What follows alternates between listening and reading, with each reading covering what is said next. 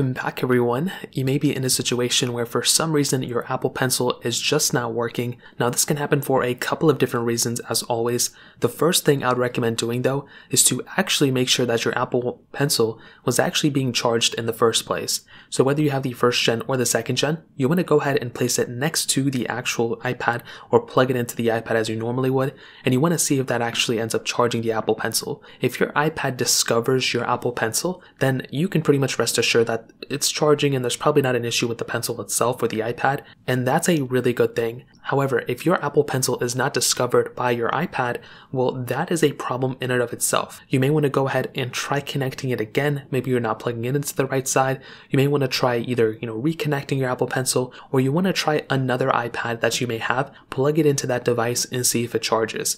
If it isn't discovered by any of those other Apple products you have, well, that Apple Pencil may have a problem and you may want to go ahead and send it into Apple for repair. However, if it's being discovered but it's just not writing anything, in this specific situation, you want to look at the tip of the Apple Pencil. Now, these tips are actually removable, so sometimes you may have to buy another tip for the Apple Pencil to actually go ahead and, you know, have it fixed. So what you want to do is you basically want to unscrew that tip of that Apple Pencil, or you want to go ahead and tighten that up by screwing it the other way. So go ahead, tighten that, you know, tip up, and you want to go ahead and, you know, press it onto the Apple Pencil against the iPad display and you want to see if it works then. A majority of the time, this will probably end up fixing it. If you just need to tighten that tip up, that's pretty much it. Sometimes the tip may actually be, you know, fully carved out and you may have to get another tip installed. So you may want to go ahead and purchase another tip. I'll leave some in the description below. So you want to go ahead and purchase those tips, screw it back into the bottom of that specific Apple Pencil, and you should be good to go for the most part here. So that's pretty much it. If you guys have any other questions or anything like that,